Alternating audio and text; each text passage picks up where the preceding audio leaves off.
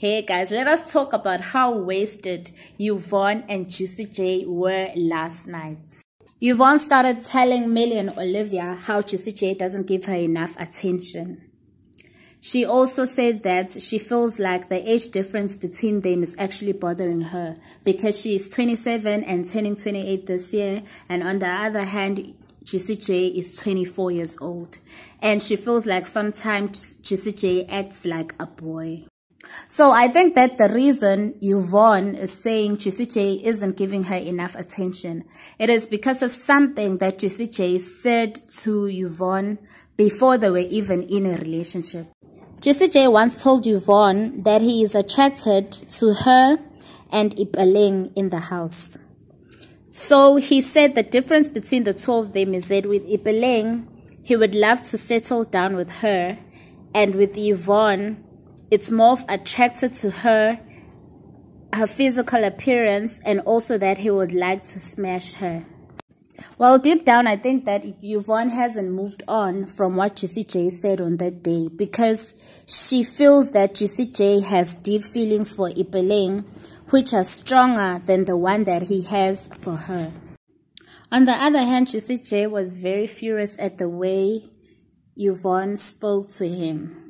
Well, he started saying all of the things that he has been doing for her, including washing her hair and even doing her laundry. hey, guys, who would have thought that a whole rugby player dude will go in the Big Brother's house and, in the name of love, start doing laundry for his girl? Well, you may never know the extent that a guy will go to in order to impress his girl. Well, Juicy Jay has just told us that. Not so long ago, people were dragging Ipeleng that she is doing Luke's laundry. Now look at Juicy Jay doing the very same thing and following in Ipeleng's footsteps. He even went to Tsatsii and told him how annoyed he is at Yvonne, the way that she spoke to him, and how done he is with her.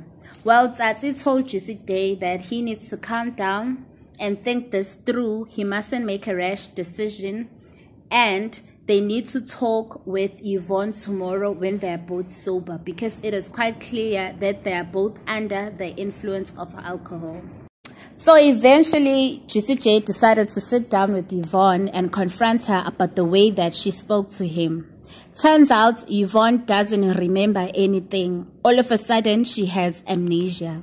Well, even though she didn't recall what Juicy Jay was telling her, but she apologized and after a while they were making out i mean it is true when they say don't involve yourself into people's business because not so long ago the two were fighting and Juicy Jay was claiming that he is done with Yvonne but now they were all lovey-dovey in Yemi's bed.